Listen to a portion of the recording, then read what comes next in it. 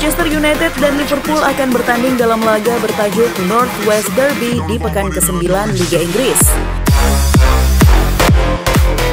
Jika kita flashback beberapa tahun lalu, pertemuan dua tim ini selalu berjalan sengit.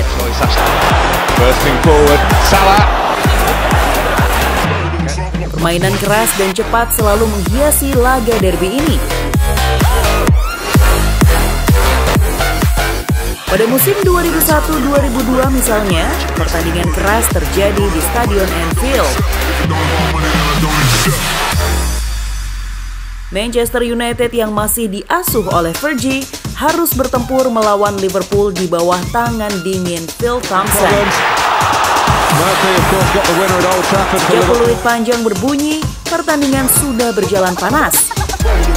Liverpool berhasil mencuri gol lewat tendangan Michael Owen yang memperdaya Fabian Barthez.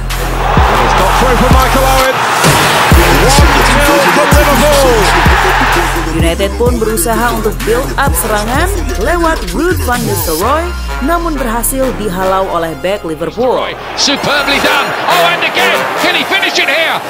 Liverpool kemudian menambah keunggulan lewat tendangan bebas kaki kiri John on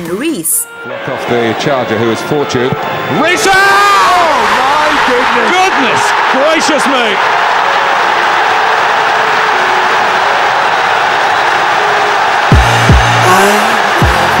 United sempat membalas lewat gol David Beckham memanfaatkan kelelahan Reeves.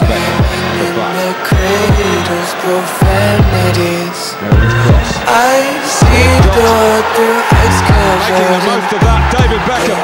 Well, that's just what Manchester United lead. 2-1 rupanya membuat Liverpool makin gencar melakukan serangan.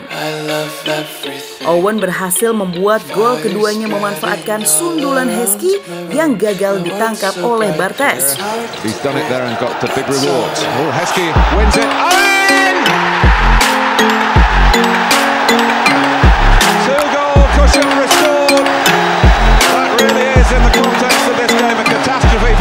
United. That's a pure. Skor 3-1 pun menutup pertandingan Derby Classic di tanah Ratu Elizabeth tersebut. Manchester United, remember, for a fourth time in a row. Last happened in 1910. Two goals from Michael Owen.